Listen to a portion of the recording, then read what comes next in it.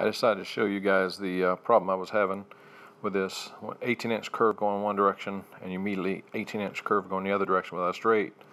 It causes a, a derailment issue that I had to tear up this track. So let me uh, show you here with the uh, an engine. This is just a regular GP size engine, small engine, but this is an 89 foot car carrier.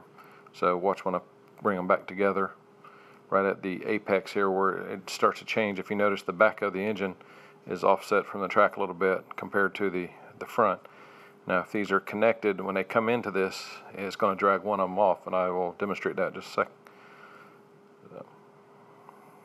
Here you go, when the engine goes back and you see it's starting to turn, go the radius the other direction, it pops off and it, there it goes, it just popped off the um, curve there and that was happening all the time. I really wish somebody would have told me this. Now, I checked it with smaller cars. They don't tend to do it. You can see them pulling a little bit, but, but they don't do it, and that's still not a good thing.